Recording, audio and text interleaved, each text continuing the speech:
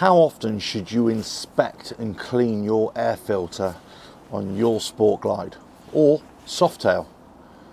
Let's talk about it inside. Revelator Alf. Hello, welcome to Revelator Alf. Hope you're enjoying the channel and the series of videos. Please like, share, subscribe, leave loads of comments below. Check out the website revelatoralf.com and the links in the description below. So, in this video, I'm talking about the air filter on your Harley Davidson motorcycle, on your Softail. For me, it's the Sport Glide. How often should you take off the cover, inspect the air filter, and give it a clean? Now, how many of you just wait until the bike gets serviced and let the guy who's servicing your bike or girl who's servicing your bike take care of all that? I'm probably the same. I'll probably just do it at service intervals. But actually, there's no reason why you just can't do this at any point. Just give it an, take the cover off, give it a little inspection, maybe clear out some debris that might be in there as well. Now it really depends which Softail you have, which air filter you have, uh, will determine what the process that you'll need to do. Okay, so first of all, I'm going to talk about the uh, round shape, which you'll find on the Sport Glide and stuff like that. Then I'll talk about the oval, which you'll find on the Fat Bob. Then I'll uh, talk about the uh, square one, which you find on the FXDR, something like that. Okay, let's talk about this first of all. Well, you're going to need uh, first of all, with my handy toolkit, uh, you're going to need one of these uh, and also one of these little Torx bits, and this is a T27 for the outer screws here. Okay, uh, going to also need a bit of thread lock uh, when you do it back up, and you're going to need a black box. Uh, no, you don't. Actually, what you're going to need, what's inside the black box, is a torque wrench. You're going to need one of these. Okay, right. So, first of all, let's uh, undo these. Now what you need to do is just undo them counterclockwise.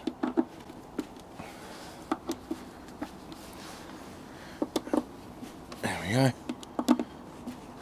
Now you could use, you know, electric drill, something like that. It's entirely up to you. It's no no major drama. Now I am a bit of a stickler when it comes to nuts and bolts. Now what I tend to do is I actually place them on the floor in the pattern which I've taken them off. You can get a piece of card, right, and then just mark it out exactly and put it on the piece of card through little holes. But I just pop them on the floor like that, and then I know exactly where they are. Now you could take them off in a star pattern.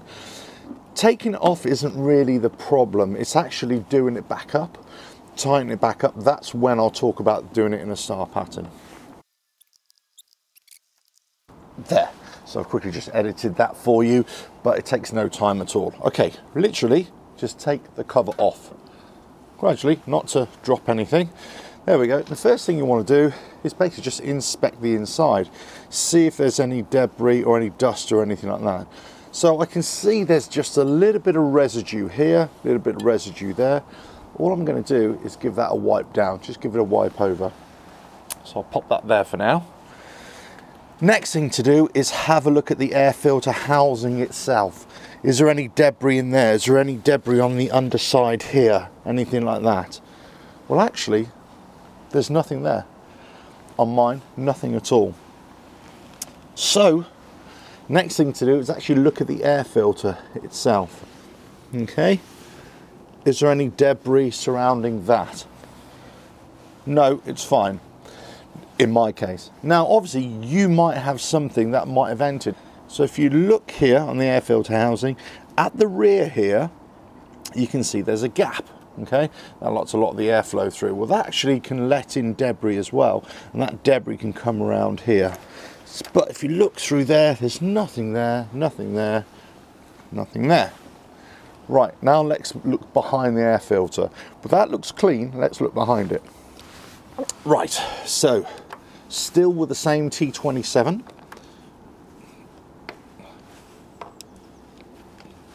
And all we're doing, counterclockwise, just loosen these bolts up. So again, I'm going to take one off and you can see there is a bit of thread lock on there already. So I'm just going to place that one down on the ground. Same with this one. Place this down on the ground. In the pattern, I know what I've taken them off.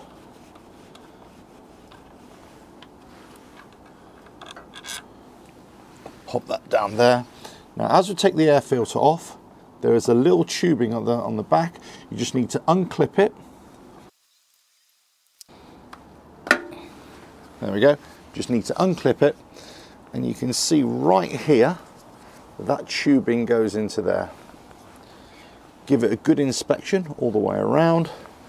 Hold it up to the light, see if there's anything coming through there as well. Now this obviously is a paper filament inside there, but you can change these filters. Obviously if you're doing a stage upgrade, it may look slightly different as well. But I'm just having a look in there and seeing if there's any major discoloration, and there isn't. Now this bike has only got 5,000 miles on it, of course, so if you've got a, a you know, um, a bike with a lot more miles on it, then obviously there's going to have uh, more discoloration on there. You may even want to think about changing this up a little bit. But that looks like a relatively clean one. So have a look here. Let's just have a look on the inside. Just place that down there. And again, having a look on the inside. Okay, making sure there's nothing to want there. A little bit of debris at the bottom here but that's about it. So all I'm going to do is wipe that out and then put it all back together. Okay, so I've got a little rag here and all I'm going to do is just clean out the bottom, cover that up, give it a blow. Now there is a seal here, you can take this seal off, just give that a bit of a clean as well, but you want to make sure that this seal goes on properly again. Yeah, and pop that back on there like that. Make sure the seal is good all the way around. Next thing then is to get the air filter back on. Okay, so this is the air filter. So obviously now you need to just clip this back on here. And all I've done is actually just push the rubber hose back onto the fitting there. That's it, literally there. And also it's back in the housing probably not the best view there, I know, but it's basically just put the hose back on. Right, the next thing now, slot it back into the hole. There we go. And now we'll just pop the threads back on. Okay, so the, the long screws that actually hold the air filter on, interestingly, on the service manual, it doesn't say to apply a thread lock on there. But actually, do you know what? I would always apply it. It doesn't hurt it really. And you've actually got to tighten this up to uh, 48 to 72 inch pounds, uh, inch pounds, not foot pounds, uh, which is 5.1 to 8.1 uh, newton meters, which is actually here. Okay, so this is for the uh, the air filter element, the paper element. So what I'm going to do, apply a bit of thread lock, and then just pop that in there. Right. Right, just a little dab, there we go, like that. And then pop this in the bottom one. All I'm doing, just gonna tighten it up, or loosely tighten it up. There we go. And the next one. And the next one. Okay, now we just need to torque it down. So I've set this to 7.5. Okay, so in the sort of mid-range.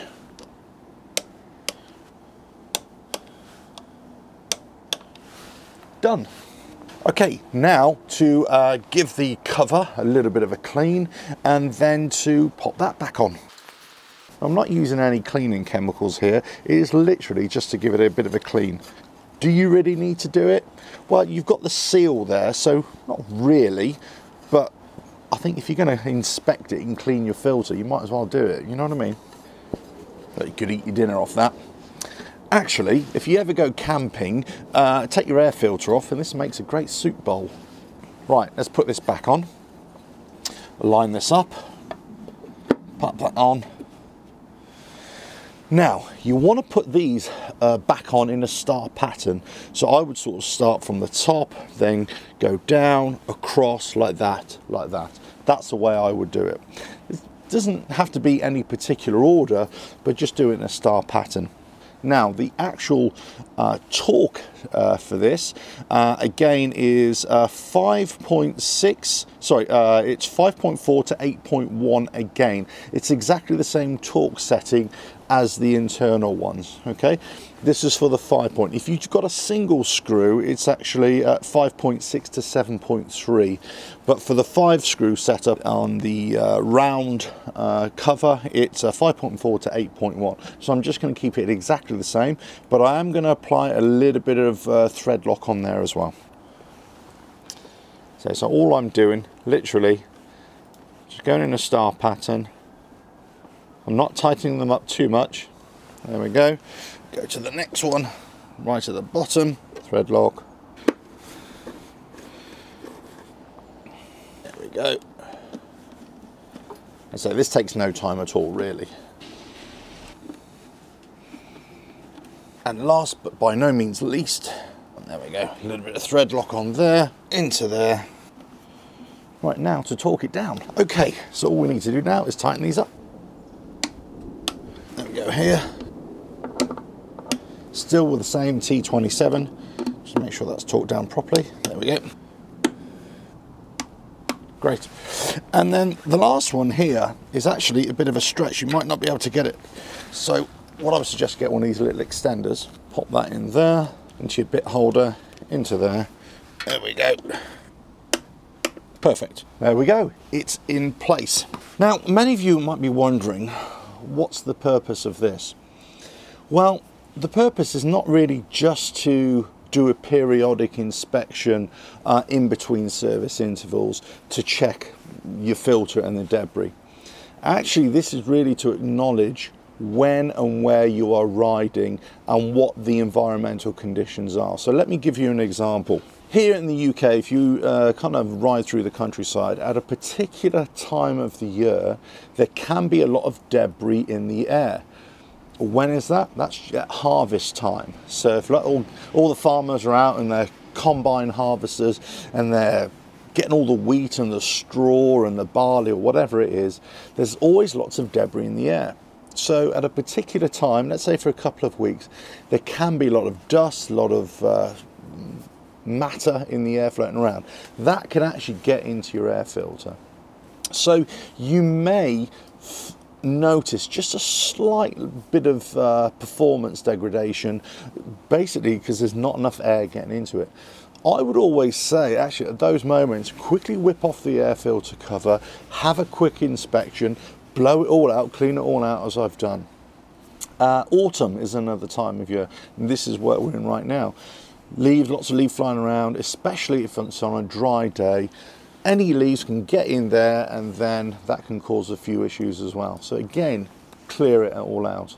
So any time of the year that you're riding uh, and there's debris in the air, let's say, uh, dust, bits of matter, whatever it is, that could get into the air filter, that's when you need to clear it out. Give it a good clear out. It only takes a few minutes and away you go. Um, let's say uh, other times of the year, let's say you want to ride through the winter or through the spring, let's say any time of the year, uh, you know, always analyze the kind of weather in which you're riding and whether your air filter might be affected. Okay, so the next thing I want to talk about, this is obviously on the Sport Glide or the other Softails that have got the round cover. I'm only talking about the stock bikes here. I'm not talking about any other air filter that you've put on with a stage upgrade here by the way but the principle will be the same okay so let's say if you have the oval uh, air filter let's say you'd find on a fat bob as well so the actual cover uh, is 5.7 to 6.8 newton meters or 50 to 60 inch pounds. Uh, but the trim insert there's little sort of square insert and that's at 3 to 3.6 newton meters or 27 to 32 inch pounds. Okay, for the square air filter type air filter, which you find on the FX DRS, uh, off the top of my head, I don't think there's another one, but you'll have to let me know in the comments if I've got that wrong. Uh, but the actual cover it's actually 5.4 to 8.1 newton meters, which is 48 to 72 pounds. So exactly the same as the um, the round cover. And for the uh, for the filter element itself, it's 5.4 to 8.1. So it's exactly the same as the uh, round one here. Uh, and that's 48 to 72 uh, inch pounds. Remember, it's inch pounds. So that's it. I mean, that's all you need to do really to inspect your air filter, give it a good clean, analyze the, the weather in which you're riding on or the environmental conditions which you're riding as well. Now, you could, if you wanted to, uh, actually go and uh, get a sock, what they call an air filter sock, for this. I wouldn't, I would never do that for this kind of air filter that's got a cover on it because that's the whole point of having a cover. I would never do that. However, if you've got an exposed air filter, uh, you know, with a stage upgrade, then yes, I would, especially if you're riding with through the winter uh, or riding through at harvest time, let's say, when there's lots of debris in the air, or if you're riding in a very sandy area, lots of dusty, dust in the air, that kind of thing. Get a sock for that, uh, but otherwise, I wouldn't bother, certainly with anything like this. Anyway, I hope this helps. But say all you need is a bit of thread lock blue thread lock. Uh, I've got Loctite 243 here. This is not promoting a brand, this is all I've got. Uh, but any thread lock that you want. Uh, you're going to need a small scale uh, torque wrench here, 5 to 25 this one is. Uh, so you're going to need some uh, bit carriers as well, or holders, and you're going to need a T27 uh, Torx bolt, torque uh, socket here uh, for to undo those as well. T27, so remember that one. Anyway, so I hope that helps. Say all those are all the torque settings uh, for uh, the air filter. Uh, this is li literally just about inspecting it, taking off the cover, inspecting it, give it a good clean, and then putting it all back on, and then you'll be good to go. Anyway, hope this helps. Please like, share, subscribe. Leave loads of comments below. Let me know what you think about this and about changing your air filter on a regular basis or inspecting it at least. That's the most important thing. Uh, and uh, check out the website revelatoralf.com and all the links in the description below. Catch you again. ta Revelator Alf.